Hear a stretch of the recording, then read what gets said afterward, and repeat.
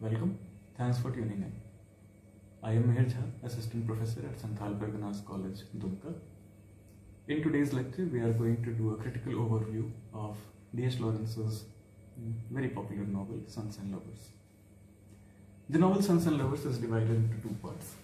The first part uh, is, is more lively, uh, is considered to have more uh, kid-like wonder attached to it.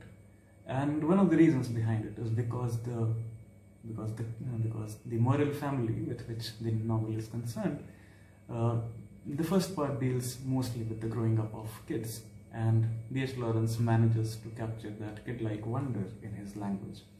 And the first part, therefore, uh, is a combination of this uh, this idea of wonder, this idea of narration, and and as well as uh, narrating truthfully, as well as narrating with conviction, and all of these things come together to make the first part a very enjoyable read. Uh, the second part, of course, uh, uh, tackles the grown-up issues, right? So the language also adapts uh, likewise. But we will come to the second part later. Uh, when the novel begins, we we see that there are two kids in the Morel family. there is the husband and there is the wife. The full name of the husband is Walter Morel. The full name of the wife is Gertrude Morel. We begin the novel by uh, entering this uh, settlement called Bestwood, which is a mining town. And the township is very much regulated and very much maintained by the company, the mining company. And everything uh, relating to how people wake up in their homes, to when they have their lunch, to when they go out, and the kind of things that they do for recreation, it is all decided by the workings of the company. It is all decided or influenced by the lifestyle of people who are working in the company. And in these mines, uh, who are the workers? They are the men, right? And so the women are often left in their homes uh, to tend to the house and to tend to the kids. Uh, Mrs. Morel is one of such women who stays home and she has to take care of three kids. The first, the elder son, is called William. Uh, the second is Annie. And the third, uh, with whom Mrs. Morel is pregnant at the time uh, of novel's opening, is Paul. Uh, a fourth child called Arthur arrives later in the first. Uh, we are also introduced by Lawrence to the marriage uh, of Mr. and Mrs. Morel, that how it all happened how they fell in love with each other, how they first met, uh, what all happened when they first met.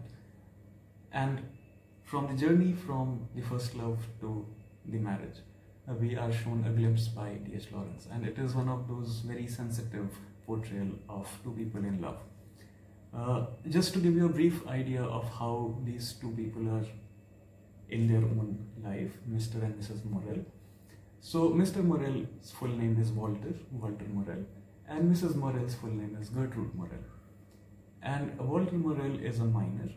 Uh, he works in the mine, and he has that earthiness attached to him. He is he is the man of the earth. He's, he's literally the man of the earth because he has to go deep inside the earth to take the coal out, and then he returns home in the evening.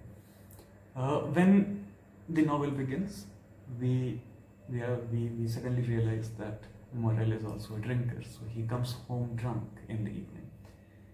But it was not always like that. We also see that there is some sort of uh, resentment on Mrs. Morel's part towards her husband. And, and this was something that I would like to say that it was not always like this. They were very much in love with each other when they first met. And the love quietly subsided or began to subside as events unfolded one after another. After one year of courtship, uh, Mr. and Mrs. Morel were married. And when the marriage did take place and after the wedding was over, uh, when Mrs. Morel started living with Mr. Morel in their house, then she uncovered a series of lies that Walter had told her. For example, Walter had told her that the house was his own, when in fact it belonged to his mother. Uh, again, Walter had said that the rent for furniture and everything else uh, was paid already when it wasn't. Walter had also told Mrs. Morel before marriage that he did not drink, and Mrs. Morel found out through neighbor, um, through her neighbors, that uh, he did actually drink, and he drank a lot, right? Uh, so suddenly, Mrs. Morel realized that her marriage with Walter was founded on a series of lies that Walter had told her. But what to do now? Now that she is pregnant with William, now that William is already there, now that Annie is already there, and now she is pregnant with Paul as well. Uh, Walter is very different from Gertrude, just like Gertrude is very different from him. Gertrude had always high aspirations. She belonged to a Puritan family where austerity was observed. Uh, there was restraint on excessive entertainment. And there was something inside of Gertrude that she wanted to go out and see the world. She wanted to talk with intelligent people. She wanted to cultivate her intellectual capacities. And she thought that perhaps uh, when she would be older, she would get to do all of these things. Uh, on the other hand, uh, Walter Morel is, is a very rooted person. He, he is not a man of high taste, so to say. He never had any intellectual aspirations. He is a man of sensuality, as, as, as, as uh, many people have remarked. And he is a man of unlimited charm, and he is able to charm anyone with his dancing skills, with his sweet talk, with his practical knowledge of things. He is a very nice maker of things, he's a very nice craftsman. And it is through his craftsmanship that sometimes he chooses to show his love, either towards his, uh, his wife or towards his children. As the novel progresses, we find out that the marriage between Walter and Gertrude is not going so well. Gertrude always uh, thinks uh, very negative about her husband, and the husband does give her enough, uh, you know, enough evidence to think negatively about him. Uh, but to say that the marriage is loveless would be a bit far fetched. Love operates on very different levels in Sons and Lovers and among these two characters. Uh, at first, it is the love of passion, uh, secondly, it is after the marriage, it becomes uh, more like duty and less like love. But both Walter and Gertrude keep coming back to each other. Gertrude, of course, she depends on Walter. And Walter, even after he threatens to leave the house once or twice, but he never really does it. So they both keep coming back to each other, and somehow or the other, the marriage continues. Finally, Paul is born, and there are three members in the family. And later, Arthur is born. Let's talk about the children first. Uh, the eldest is William, and William is very close to his mother, and the mother also dotes on her eldest son. Uh, there is a very nice quality in William that because he adores his mother so much, he wants to do everything for her even though he is only a little kid. And he wants to bring the world to her, he wants to bring whatever he wins in little races or in any sport competition or any silly competition that keeps happening among kids. And when he wins something, he brings the trophy to the mother. And Gertrude uh, takes immense pride in her son, right? Uh, the bond is very strong. William feels for the mother the mother feels for William too. Then there is Annie. We don't get to see much of Annie, but she is there. She she is the sister, uh, and uh, she she mostly keeps on either crying or mostly keeps on irritating her uh, siblings. Right. The third in line is Paul. Uh, Paul, when Paul is born, uh, Paul is an unwanted child. Mrs. Morel did not really want Paul to be born. But after the birth of Paul, she developed this intense fascination for him. Paul also, from, from his birth, uh, he had this very curious look in his eyes and he was susceptible to bouts of depression from the very early age, even when he was an infant. And that depression would often reflect in his eyes, and so his face would become pensive, his face would become thoughtful. And this would uh, make Mrs. Morel anxious, concerned, and sometimes even, uh, you know, like awestruck that uh, a, a, kid of this age is able to show these many emotions on his face. Paul grows up to be less masculine than William. William is the more masculine of the brother. Paul is on the sensitive side. Uh, William is well built. He grows up to be a very nice young man, very attractive young man. Girls all over the town desire him. Paul, on the other hand, has this silent, quiet nature. He is an artist. He likes to paint things, he likes to draw, and he likes to observe things very keenly, right? And finally, we come to the birth of Arthur. Arthur, when Arthur is born, Arthur takes immediately to the father. He is uh, close to Mr. Morel. Uh, when he was a baby, his hands would stretch out towards father more than his hands would stretch out towards the mother. And Mrs. Morel is really happy actually that Arthur likes the father more. It is one of those things that she is thankful for, that at least the uh, father would not think that the mother had put all the children in her camp, so to say. So Gertrude is very happy that Arthur likes his father a lot. And when Mr. Morel is in a good mood, then he also tries to humor his little son often. There there are uh, a few significant instances in uh, the first part of the novel. The first instance is uh, Mrs. Morel outside of her house when she is locked out after a fight uh, by Walter, who goes to sleep and without realizing that he had locked uh, his wife outside. Uh, Mrs. Morel, with nothing with nothing to do, enters into the garden. It is a cold night the moon is very bright above her and she she tries to find peace and solace in the company of many plants and many trees and many flowers and there comes a point when when she is pregnant with paul that she chooses to dip her face into this blooming pollinating lilies and when she emerges after uh, dipping her face into uh, the lilies uh, her face is filled with the pollen, the dust of the pollen on her face, right? And it was then that she realized that she must care for Paul, even if she did not want him initially. But now she must look after him. Because in that moment when she was locked outside of her house, she was not alone. Paul was also inside her, and Paul was also not in the house. So, in that moment of solitude, in that moment of pain, even, they had each other. Paul in the body of Mrs. Morel and Mrs. Morel among the garden, in the garden and among the flowers.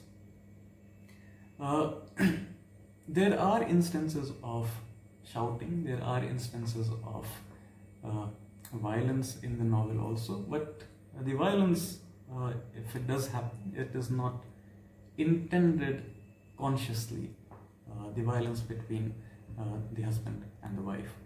Uh, in one uh, in one in one event, what happens is that the husband Walter Morel he accidentally throws a drawer at Mrs. Morel, and that hits her head here, and she ends up bleeding. And of course, it is it, he did not mean to hit her, but that incident uh, will have a major impact on their married life.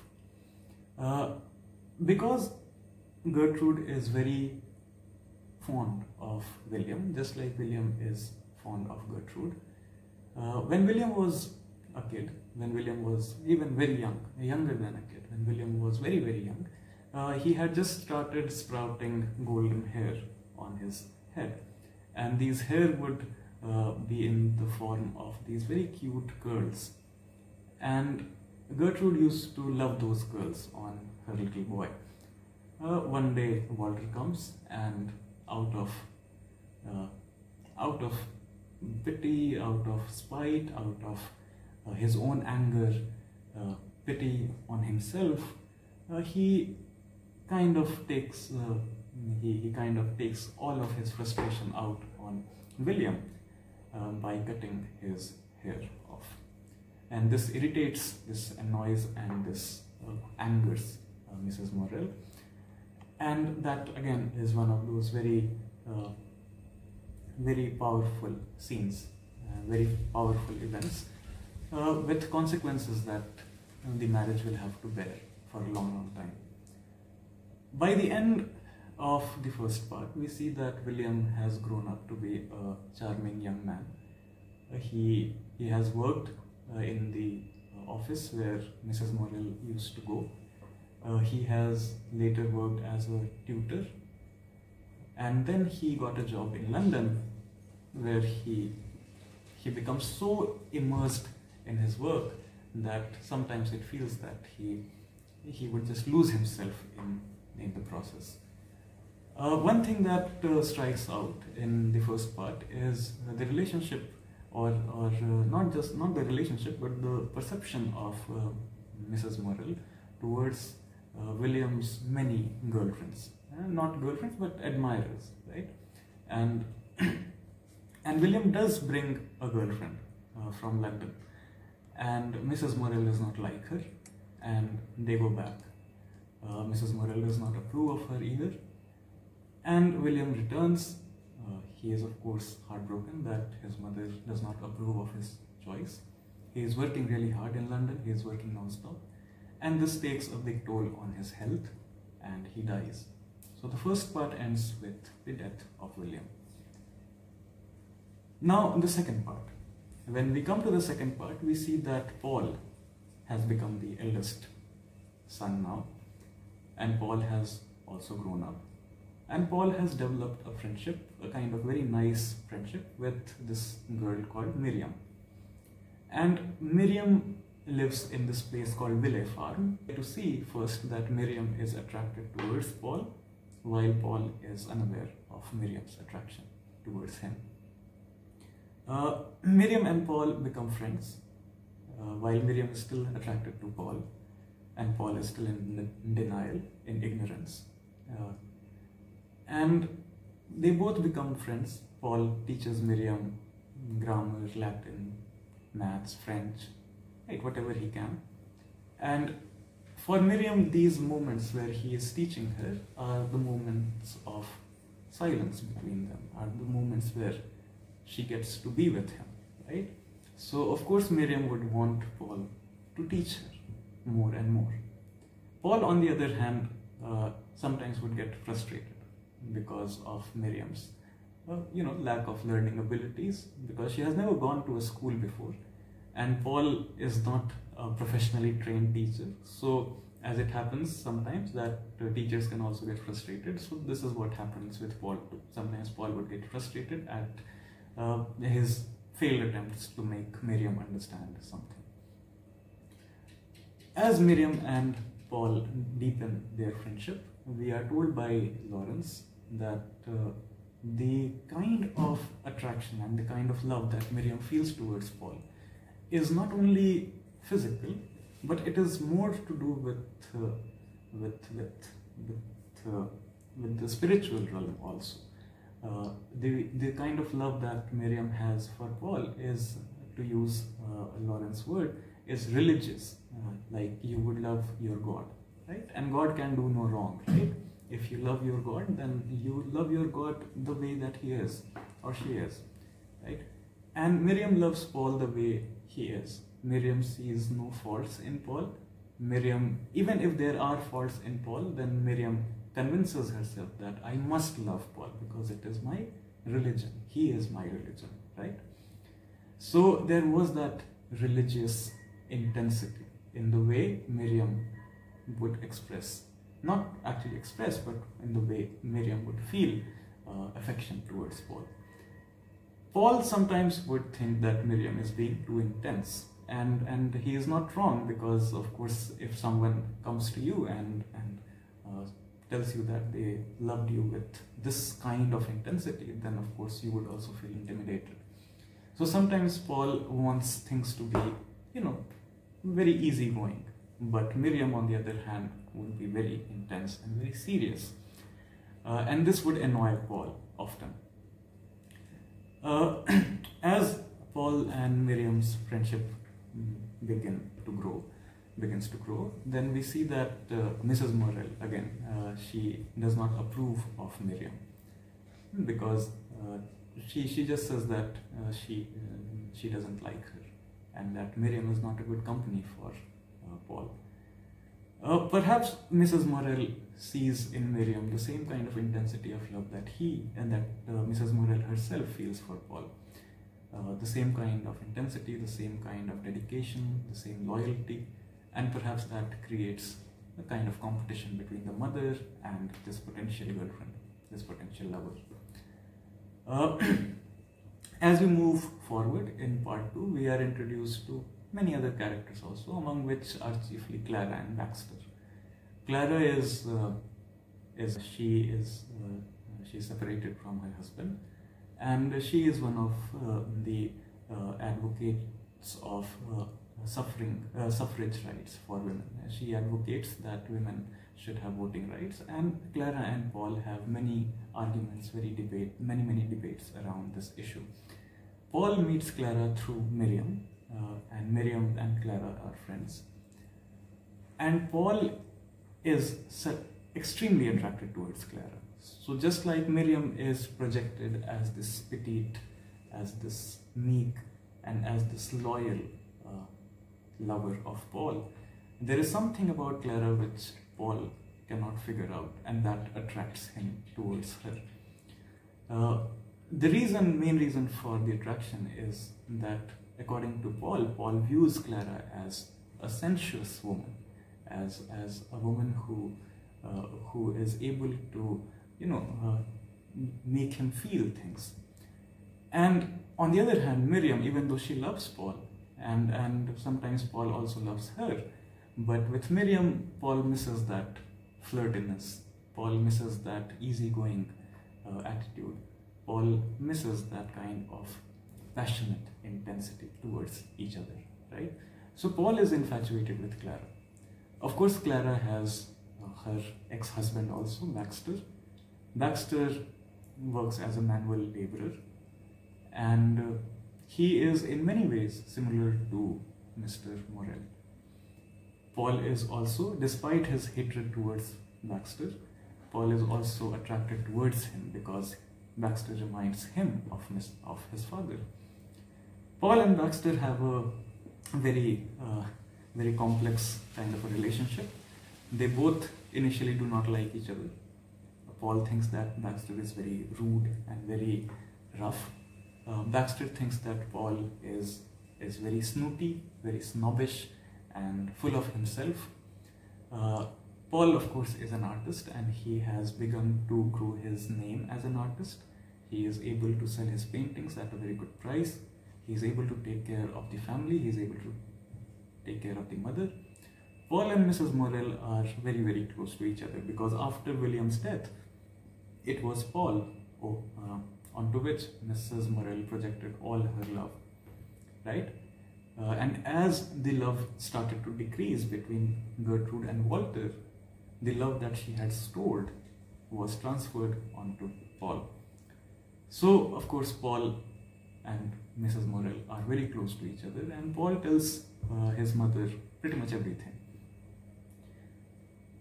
Often we realize while reading the text that behind every decision that Paul takes or makes, there is this hanging shadow of Mrs. Morel, his mother, right? And that becomes a challenge for Paul uh, because of the presence of her, uh, of his mother every time, all the time whether he is to take a decision based on uh, his, his creative talents, whether he has to take a decision which is required in the field of any profession that he might choose, or whether it is taking a decision on whom to love and uh, whom to make friends uh, with. So, behind all of these things, uh, we feel that, and, and we are told by Lawrence, that Mrs. Morel is ever present. Mrs. Morel is always there. And this kind of influence, Paul finds very tough to break from, break away from. It is one of the reasons that Paul never really falls in love or never really finds anything meaningful out of these two women in his life, either Miriam or Clara. Right? Uh, Miriam and Paul do consummate their love for each other. They do uh, try to get physical with each other, but after uh, the deed is done, uh, Paul goes back and kind of gets over Miriam, and pretty much Miriam is left very lonely. On the other hand, uh, Clara is always appealing uh, to Paul. The way she moves, the way she talks, the kind of confidence that she carries around herself makes her very attractive to Paul. There comes a point in the novel, in the second part of the novel, that uh, Paul, Miriam, Clara, they go to visit uh, one of the elderly ladies in, in, the, in, in, in their neighborhood. And there they chance upon this very nice horse. And Clara is fascinated by that horse. Of course, horse is male, right? And mare is the female. So Clara is very fascinated by the horse. And people who were present there, they start to speculate that perhaps Clara is missing her husband or perhaps Clara needs a man in her life. Baxter, who is Clara's ex-husband, uh, he and Paul, when they meet, of course they don't like each other and there is an incident where they happen to engage in a brawl with each other. They happen to fight with each other. Uh, but later when Baxter suffers from an, uh, from an illness, uh, Paul does go to meet him and Baxter realizes that Paul is not really a bad person and Paul also realizes that Baxter is not really a bad person. Baxter, even though he is living with a mistress, he still loves his wife. That's what he says. And Paul finds that perhaps his sufferings, Baxter's sufferings, are true.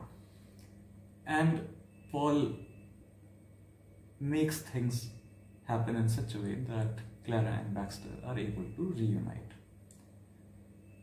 Back home, there is, of course, Mrs. Morel, the mother. There is, of course, Annie also. Arthur, uh, he was never good at anything except for looking good, because that's what Mr. Morel was also like.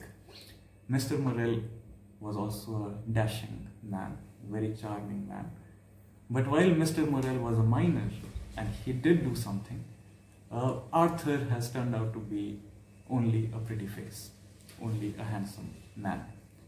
Uh, whatever line people have tried to put him into, he does not really like that and he runs away. Finally, uh, Arthur is made to join the army. He joins army and uh, and he joins army. He's not really made to join army. He joins army out on a whim. But when he is selected, uh, he is made to serve his duties. Uh, at home, of course, Paul is struggling to get out of the shadows of Mrs. Morel while being very much loving towards her. Uh, Paul does not perhaps realize the gravity of influence that his mother is having over him. And by the time that he begins to realize that all of his actions and decisions are being influenced by the presence of his mother, by that time the mother's condition also deteriorates. The mother is also old, she has also fallen sick, and she is in bed. Then comes a time when